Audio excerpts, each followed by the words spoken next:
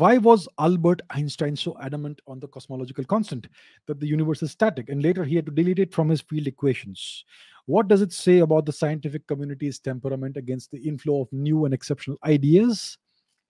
Uh, one more example could be that of Avi Loeb, who says Oumuamua could be an extraterrestrial object, but he was completely sidelined. Uh, P.S. It would be great if you could call Avi to a podcast. He is a great speaker, explains complex ideas beautifully. Okay, uh, interesting. Uh, thank you for the recommendation. Uh, let's see if I can uh, do that. So the question is about the uh, cosmological constant. So what is this cosmological constant? So in 1915, Albert Einstein published his general theory of relativity. In 1905, he published the special theory. In 1915, he published the general theory of relativity. In the general theory of rel relativity, you have the very important equation called the field equation of general relativity, which relates the mass, energy, mass and energy with gravity. And it replaced the older uh, law of gravitation which is newton's law of gravitation. So what you have according to the einstein field equation is that the curvature of space-time is intricately uh, related to the amount of matter and energy that is passing through that uh, that uh, region of space-time right? So that's the einstein field equation. If you want to understand what the equation is it says r mu nu minus 1 half r g mu nu is equal to 8 pi 8 pi g above, above, above c upon c raised to 4 times t mu nu. So that is the uh, field equation. It's not a single equation. It's a set of 10 equations looks very simple. It's a system of 10 partial differential equation uh, equations which relate the mass and energy to the curvature of space time right. So this uh, set of equations it matches newton's law of gravitation for weak gravitational fields. Now, what we find, so what Albert Einstein did is that he uh, he uh, what he did was he approximated the universe as having a constant density in all directions.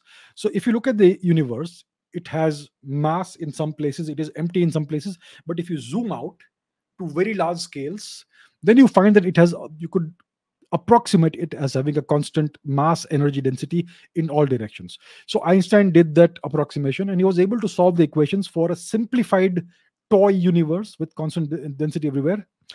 And what he found is that the uni- the equations, the solutions, they give you something. They will either cause the universe to contract or expand, right? So that's what his equations were telling him that the universe will either contract or expand. But in those days in 1950s in 1915 in the in maybe in 1920 the data the information that we had was that the universe was static. It was unchanging. It was neither expanding nor contracting. Those days the only knowledge we had was that of the milky way galaxy and we thought scientists in those days thought that the milky way was the entire universe Right. So that was the scientific consensus. That's what the best observations showed. Now, in the 1920s, Edwin Hubble, an American uh, astronomer, he uh, took he uh, he observed that the Milky Way was just one galaxy. There were lots of galaxies beyond the Milky Way, and he also discovered that these galaxies beyond the Milky Way were all getting more and more distant from us. They were all receding from us in all directions, which indicates that the universe is not static, it is expanding. Right? So, before this information was available, Einstein realized that his field, this, he, his field equations, they would make the universe expand or contract. Uh, so, what he did was he introduced an, an additional term which is which is the cosmological constant.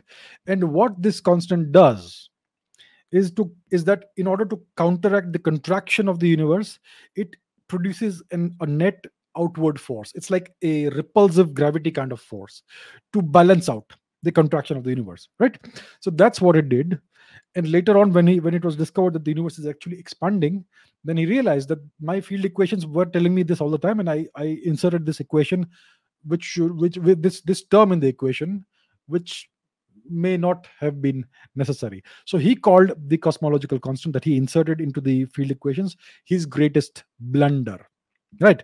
So that's what he did. It is uh, denoted by the by the Greek term lam- lambda.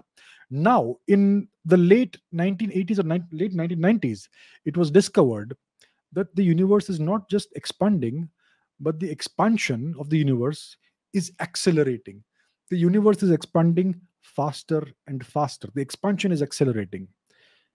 And this term, the cosmological constant that had been deleted from the field equations, now had to be reintroduced because it because it represents an, uh, an anti-gravity kind of force, a negative gravity kind of force that causes the expansion of the universe. So Einstein's greatest blunder actually was valid, right? And that's what we nowadays consider to be dark energy. So nobody forced Albert Einstein to delete the cosmological constant from his field equations. He did that himself because it was discovered new data came into uh, was was new data was made available. And based on the new data he realized that there was no need for it.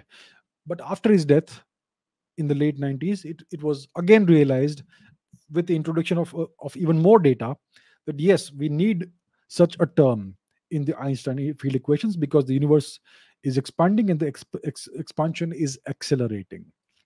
So that is the story in brief in rough about the uh, cosmological constant now, when it comes to the scientific community, the temperament against, like Akash says, inflow of new and exceptional ideas, it's always been there.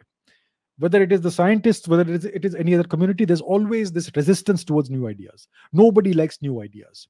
For instance, we have had this stranglehold of the, of the string theory mafia in theoretical physics for many decades.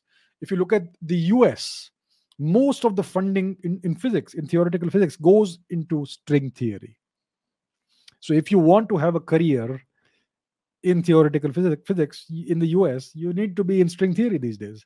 It's been like that for a very long time. Nowadays, there are questions have been raised about it and all. So it's always been like that. So there is always this group think mentality. There is always this uh, thinking by consensus, and uh, that's always been there.